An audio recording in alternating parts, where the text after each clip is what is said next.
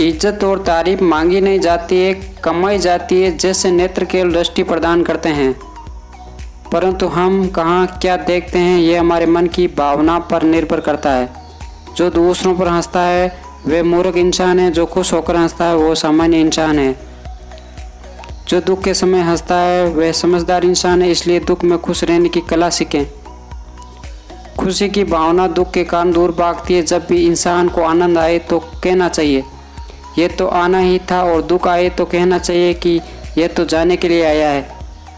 दूसरों की आलोचना करना और उनकी भावनाओं को ठेस पहुंचाना आसान है, लेकिन खुद को जानना पूरी ज़िंदगी ले लेता है। मेरा यूट्यूब चैनल को लाइक से सब्सक्राइब करें।